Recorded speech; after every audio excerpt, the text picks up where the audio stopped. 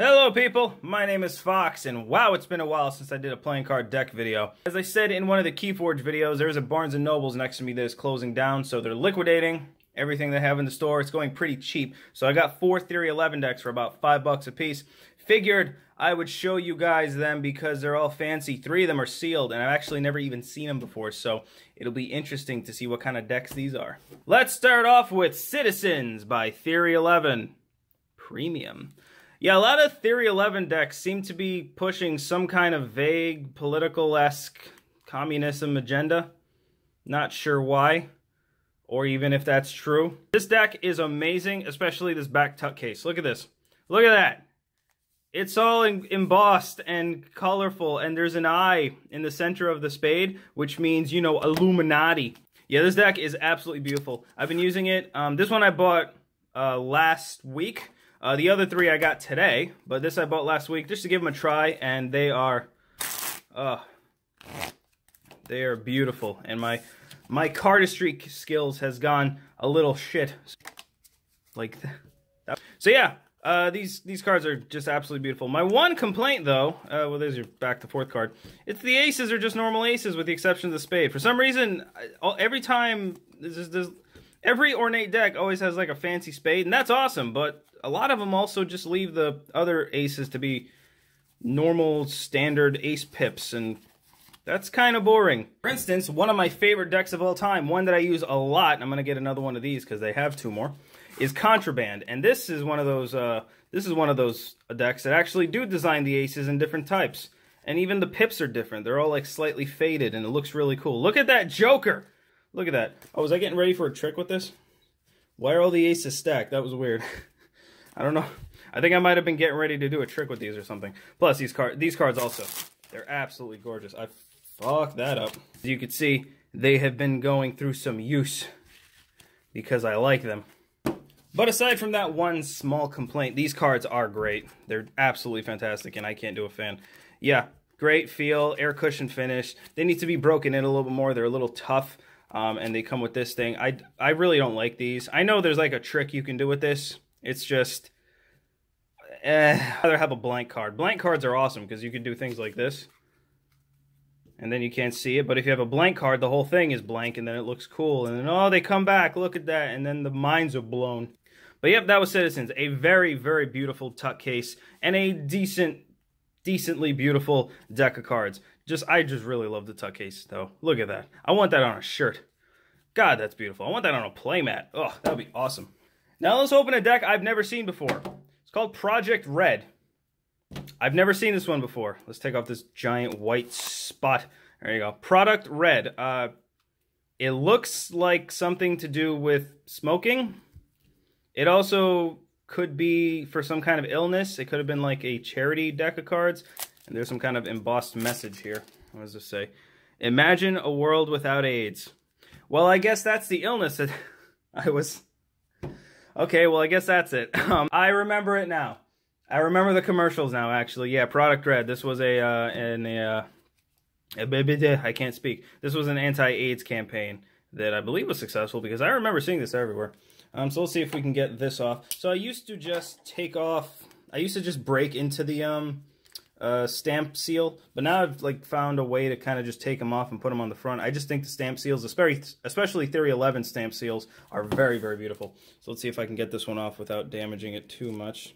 Okay, well I can't actually get the stamp off, so we're gonna have to cut into it. So this is how you cut into a deck. There you go, and then you just flatten it, and then boom, opens like that. So here we have what is it? Oh, they're just red cards. You know what? That's pretty cool though, because I think I've seen these used uh, for magic tricks before, and having a flat red back is kind of cool. Oh, they're very good cards, though. Very nice finish. That's that's the best I can do. That's all right. See this. That's a nice. That's a nice. That's your Mario. We have zero. In 2002, more than 12, 1,200 babies were born with HIV every day. Now that number is just 400. Together we can reduce the number of HIV plus babies born each day from 400 to near zero. Yeah, we got to stop them babies. That was a tasteless fucking joke. got the two jokers. No joke. Probably have some message on it. Oh, it looked like a heart. Okay, so there's the ace of spades with a very off-putting red on the black spades. That's kind of weird. Um, let's look at the suits. Suits are pretty basic. Kind of nice, though. And again, they don't do anything with the other aces, so there you go. Yeah, this just looks like a standard deck. Just um, with a message behind it, which is nice.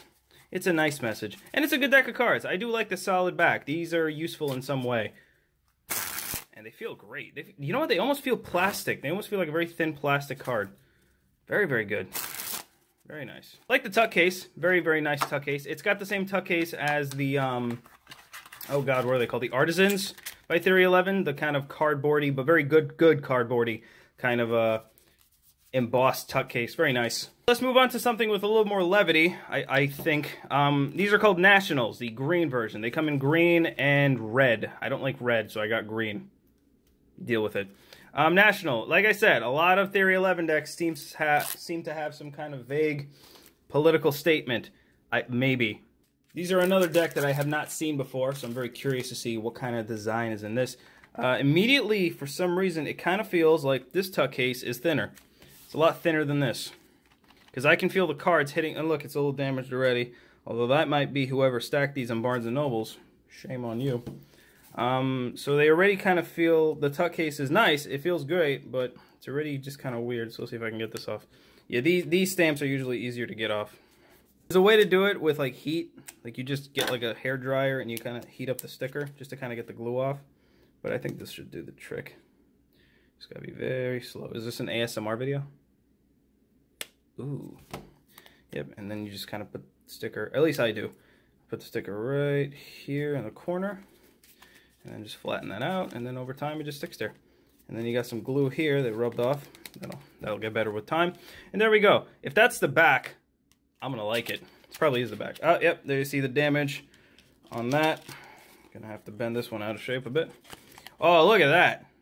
That, that looks very Louis Vuitton. And already it's ripped. Oh boy. All right and yep that's the back. That is indeed the back. Very nice. Reminds me of Monarchs. Very nice green hue, like a monarch. There's the Jokers, and the... Oh, that's nice. That is a very nice 3D effect for that snake. Please, yeah, look at the pips. Oh, look at these pips. Look at that. Oh, these are beautiful. They, oh, these are so nice. Here's a, yep, there's the, um, look at that. Oh, I'm getting another one of these. They have they have like two more over there. I'm so getting another one. Oh, these are so nice. Oh.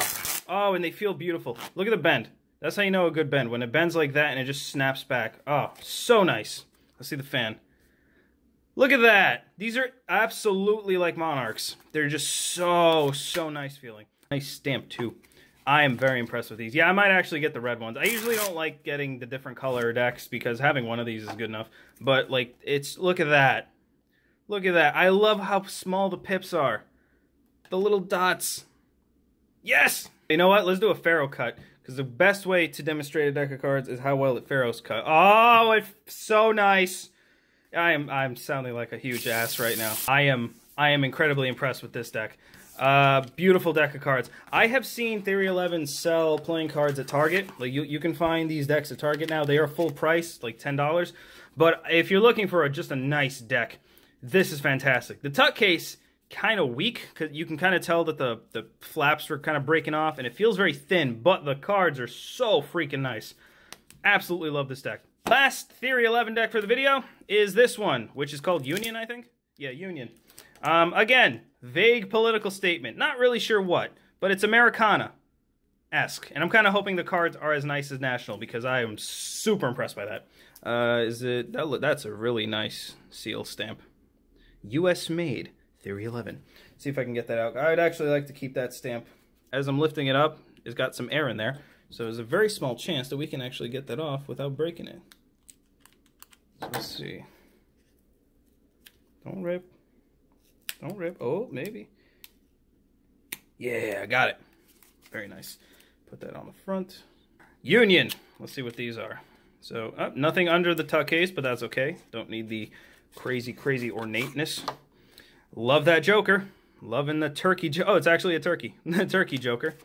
And there's the ace. And yep, the pips are a different style. Very nice font, which looks familiar. That three is kind of weird. But let's see if the... Oh, yep. There we go. Off design. Looks like historical figures of the U.S. Uh, but look, the ace. The ace of diamonds is just a standard ace of diamonds. So, uh, yeah, these remind me of... What are they called? There's like a Civil War deck of cards you can get. And you got a double face card for some strange reason. There's the backs. Let's do a Faro cut to test how good they are. I gotta look off the viewfinder. Nice Faro cut. And let's just do another pass through. And yep, they are completely full 180, 360 turnable. So very good. Very nice design. I'm more of a fan of the Nationals design. I just like the small pips so much. Um, These are pretty cool though. I'm sure these are historical figures. So you have a Poison and a Rose, Queen of Hearts. Queen of Hearts is usually considered to be the killer queen along with the Suicide King. So is she, who could she be? Uh, Poison, uh, George Washington. She's George Washington. Uh, the ultimate high-end luxury playing cards Theory 11 with a normal backing. So that can be used for something. Union. Very, very nice deck of cards. Very nice deck of cards. So I have to say, in in order of how much I like them, National on top, I would say the Citizens are the second, Union third, and then the Imagine Red on the bottom. I do like the uh, the product red ones. They're very, very nice as far as the backing goes. Very simple. You don't need too much of it. Um, but as far as $10 for this, because this was originally $10, I don't think it was worth $10. Personally, I think it's worth $5. Now let's get on to a deck of cards that I have heard being called the worst playing cards you can buy. Mavericks. Now these are different Mavericks. I actually can't find the original horse Mavericks, the ones that have like the horse on front of them. They sell them at Walmart for 88 cents. Just like these. These are 88 cents. And people call these the worst playing cards you can buy. These are far, far, far from the worst you can buy. Um, I don't know if there's the same quality as the original Mavericks. I kind of hope they are so I can prove a point. Um, but let's open these guys up. Same trick I told you, but there you go. So, yep, they are exactly the same quality as the original Mavericks. And look, the horse the horse. Uh, yeah, people call these awful. These these are not awful. They're absolutely fine. They're 88 cents. These are the decks of cards you keep in a toolbox, you keep in your car, in your glove compartment, in your back pocket, at work, whatever. These are the type of cards you buy to play a game with. They're not great for doing magic tricks, although you could theoretically do some tricks with it. Okay, maybe not as well as I was hoping. They're not the worst. They're far from the worst. They're good. They're perfectly fine. And you know, I don't understand why people rip on it so much. It, it's 88 cents for a deck of cards. You're not buying a Theory 11 deck. You're buying a $1 deck of cards. You want to know what actually are the worst playing cards you can buy? If you ever go to like, uh, a, if you ever see like those officially licensed playing cards, like the ones with Deadpool or the Marvel characters or like the My Little Pony playing cards, those like the ones in Hot Topic, they actually sell them in Hot Topic. Those are pieces of crap. Those decks are absolute shit. They're like $5 and the quality of the card is literally cardboard. Like they stamped it out of a giant sheet of cardboard. These are finished. They're finished cards. They're not great for doing tricks. They don't really fan well. See, they're kind of uneven. And, you know, the printing quality ain't great. I personally like the back, but, you know, people hate it. And the horse head. His name's Steve. He's a cool dude. But at least these are finished. Like these, you play a game with it. These are going to last a long time. You buy those cards, they ain't lasting a long time. They're, they're just ugly to me. While Mavericks, I think, are fantastic. So these are far from the worst decks of cards you can buy.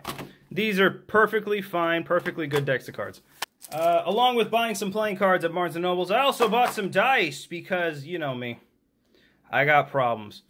Classic RPG dice set by Q Workshop. These dice are friggin' fantastic. I've been using them the past couple days, and they are great, great, great dice. They got some good weight to them. They were originally $6.95. I got them for half off.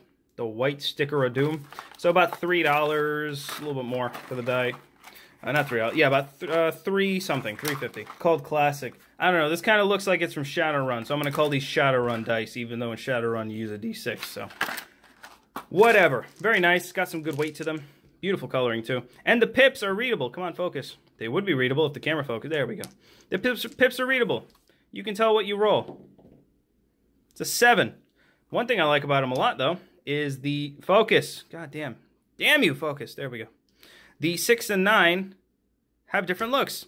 See how that 9 has a curved spine?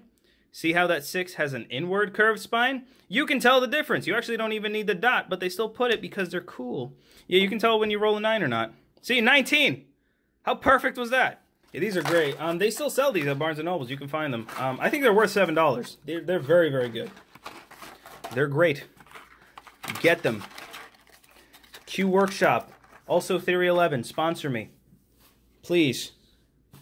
I like you guys. Thank you. Hope you guys enjoyed this weird random video. I will see you later with more videos, but until then, don't play with knives. Unless they're fun, in which case play with knives.